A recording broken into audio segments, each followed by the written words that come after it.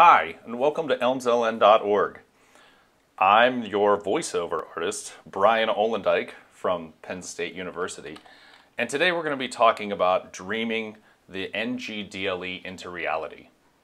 So what is an NGDLE, and how do I get one? Uh, isn't this just a fancy word for an LMS? You know, this thing, right? That all of our institutions have, where we have consistency, uh, everything is centralized to our institution. We have a uniform user experience, and those are great, right? So aren't we just talking about that? No. NGDLE is about the thing after that, and it does involve that as well. So really uh, what I like to do is use this phrase for NGDLE is next generation distributed learning ecosystem. We're talking a lot more about the interconnections between uh, systems so that we can better meet the needs of learners uh, through better experiences, newer experiences. Uh, so I would visualize it more like this, right? Instead of a single silo, you know, maybe we have other functionality that takes place outside of that silo. Maybe we're passing things back into silo. We get much more of a networked approach to the way at which we deploy uh, educational experiences. Uh, as a very brief review of the state of NGDLE. There's a few entries into this space. Uh, so Dr. Chuck is working on something pretty neat called Tsugi, which is this idea that you kind of take the LMS and learning systems in general, break them down into lots of little teeny tiny systems that then can be repurposed and deployed in against multiple LMSs, against MOOCs, uh, all over the place. Uh, so worth checking out. It's an entry into this idea, right? He's using it a lot as far as the way at which you extend Sakai into other spaces and, you know, reuse your own efforts. Paul Hibbitts and has this idea of a flipped LMS. And as he envisions a flipped LMS, we have a system called Grav, or it's, it's a Grav CMS. It's a standalone, uh, kind of like a WordPress, if you will, or a Drupal, a, a static site generating system uh, that manages things in Markdown. So he actually routes students, if you will, to all the different places that they're going to go through this course hub site. Uh, so using a little bit of glue to stitch the experience together, he expands the worldview beyond just the old LMSs of yesterday. And of course, the reason why you're hopefully here watching this video today. So what the heck is ELMS-LN?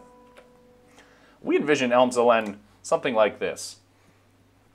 We're not talking about a single system. We're not talking about one type of experience. We're talking about organic experiences and a way of capturing those organic things, those messy things that happen in classrooms. I think, uh, what's the word? Innovations. Capturing innovations and doing so in a sustainable way.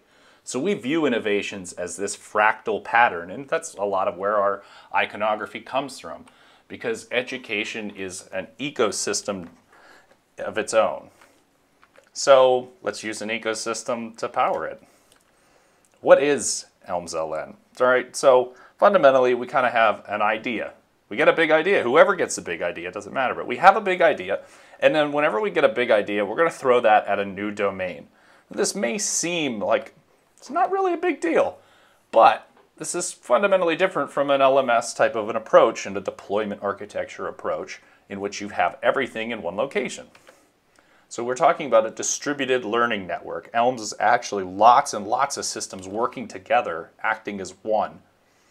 But doesn't that create a distributed user experience? Because we're sending people all over the place. That's probably not a great thing for UX patterns, right? Well, would argue you use a distributed user experience pretty much all the time. Uh, Google really pioneered distributed user experiences and they pass you to different domains. They have different applications with different names, different branding, and they've been working really hard to unify their branding. Uh, they have a, a specification called Material, and now Material is going to make all the things in the Google App Suite feel exactly the same. Microsoft has actually kind of beat Google to the punch at this a few years ago uh, with the relaunch of Outlook.com and all of their uh, Office 365 products that were online. that you have consistent user experience across applications, but that doesn't mean they're all the same application. So let's see what we mean in Elm's context. So when someone experiences a course, they're actually at a domain that's courses dot wherever it lives slash the name of the course. It's a different URL from other parts of the ecosystem that are going to be stood up. So if we were to build a discussion forum system, that discussion forum system would live at discuss dot whatever the institution is slash course name.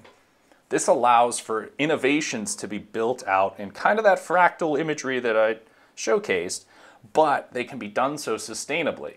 We can have discussion forum 2.0 or discussion 3.0 types of versions. We can play with different types of ways of having conversations across different courses and then allow those courses to influence and improve our overall, overall portfolio.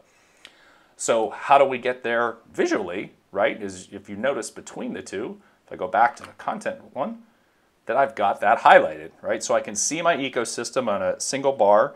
I know where I can go, what applications I can use, and those applications get integrated into the system itself. So my content outline might have all of this other stuff like discussions going on right inside of it. But if I really want to dig in deep to a discussion, or maybe I don't want to use a content thing, that's a separate application. And so we can kind of keep following this pattern over and over and over again for other things. Well, how is this possible? It's because what we've actually created is known as a self-federated system. And so any place that you go in Elms, you could technically pop open the hood and see the data driving it. And because we follow a pattern, and it's a consistent pattern across the way we build all of these things, it's very easy for us as developers to get data from point A to point B. So when we stand up a studio, maybe it's actually running some other framework inside of it, right? Right now, most of what we do is, is Drupal and increasingly something called web components. But that all can live in this consistent user experience, right? So now I know that I'm at the studio application because I have that. We have some consistent colors to indicate the difference between a studio tool and a discussion tool or a course tool. You see the slight color changes as we go through there. But I can keep unlocking newer uh, potential, newer ideas, and just keep driving innovation forward in this sustainable way. So the thing powering that, again, because we have this self-federated system, is also just data. So this also allows us kind of infinite flexibility even beyond you know, Drupal, which is the platform we use for a lot of the system. So then something like a logistics arm of the institution is not in the exact same system as the content uh, so, you know, when you have a learning management system, a lot of times those are built logistics first. They need to be managed by administration officials. That is going to have implications for your design downstream. So let's put all that data in the place that we can consistently tap it with our other systems so that we can make better decisions and still keep things organized, but not force that type of uh, design pattern upon students. Uh, similarly, we want to build a media system. Now we can build a media solution. We want to build a next gen video solution. We can do that at a consistent pattern of name and course uh, spacing. Something else that fits well with this in this distributed ecosystem of NGDLE approach is uh, learning record stores or LRSs. So this would be maybe you slap LRS dot whatever your setup is right? In this case, we have um, a learning locker instance that all of our other parts of our ecosystem are feeding data back to so that we can normalize and relate it. Well, again, because we're hitting a consistent pattern and we have other things submitting XAPI statements from all over the place, we can start to visualize this data in context no matter where you are, whether you're viewing a media asset because you're in charge of uploading the video, or you're a a faculty member saying, gee, are people watching these videos? We can answer these kinds of questions. And we use tools like H5P, like Learning Locker, and lots of awesome standards as far as charting and visualization to do so. So who's involved as of the time of this recording? Uh, you've got three colleges at Penn State that have deployments of this architecture and are working with it. Uh, WVU online division is also exploring implementation. And Buttercup's training has uh, an active deploy with thousands and thousands of users to uh, do uh, medical training.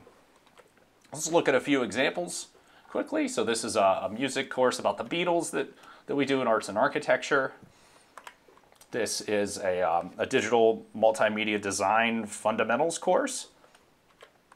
This is a studio for a different DMD course in this case, right? So we have some, you know, creative creative flair that we allow via, you know, iconography, banners, things like that.